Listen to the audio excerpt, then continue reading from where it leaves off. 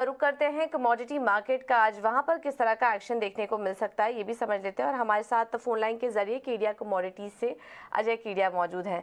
Ajay thank you so much ET Now Swadesh को समय देने के लिए। सबसे पहले तो सोने चांदी से शुरुआत करिए।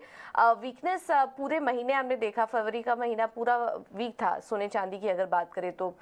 अब आने आगे वाले, आने वाले समय में किस तरह की चाल देखने को मिल सकती है? और आज के लिए क्या ट्रेड सुझाएँगे आप?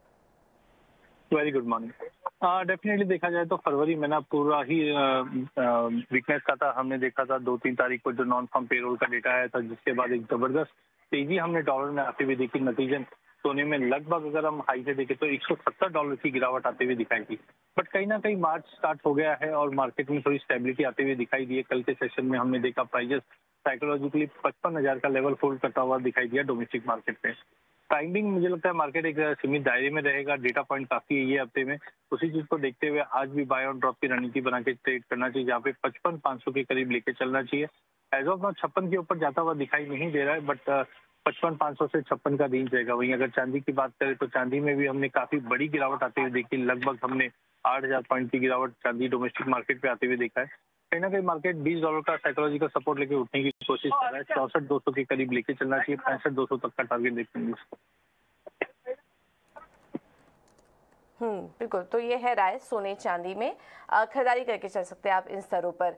इसके अलावा अजय आपसे ये भी समझना चाहेंगे कच्चे तेल में किस तरह की चाल आप देख रहे हैं? ये कच्चे तेल में हमने देखा कि ब्रॉडर रेंज मार्केट में बना हुआ है छह हज़ार से पैंसठ सौ के बीच में।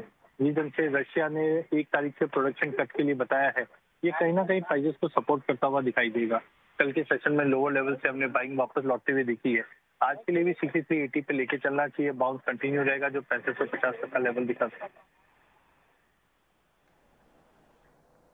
बिल्कुल। तो कच्चे तेल में भी खरीदारी करने की राय 6480 के लेवल्स के लिए। अजय बहुत बहुत धन्यवाद आपका समय देने के लिए और ये सभी रणनीति सुझाने के लिए। आ, तो ये था कमोडिटी मार्केट का एक्शन और इक्विटी मार्केट में रणनीति भी हमने आपको बताई। एक्सडीएक्स निफ्टी निचले स्तरों से हल्की रिकवरी यहाँ पर करने की कोशिश कर रहा है।